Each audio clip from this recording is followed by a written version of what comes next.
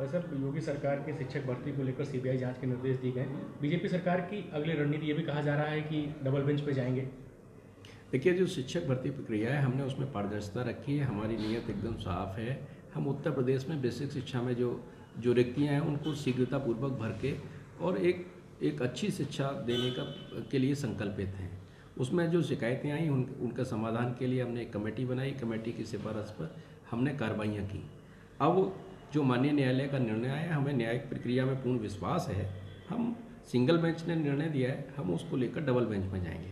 भर्ती प्रक्रिया को स्थगित करने या बाधित करने का कोई निर्णय माननीय न्यायालय ने नहीं दिया है। वो यथावत रहेगा जिनका चयन हो गया है वो काम करते रहेंगे। आप डबल बेंच पे जाएँगे? हम डबल बेंच में जा रहे हैं।